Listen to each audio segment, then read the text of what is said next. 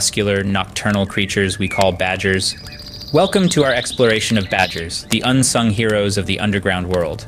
Badgers, known for their distinctive black and white striped faces and short, sturdy bodies, are a marvel of nature. They are primarily nocturnal creatures, burrowing complex networks of tunnels and chambers, known as sets, where they sleep during the day and emerge at night to forage. These resilient creatures are found in a variety of habitats, from woodland to meadows, showing a versatility that is truly remarkable. Badgers have a broad geographic range, with different species found across North America, Europe, and Asia.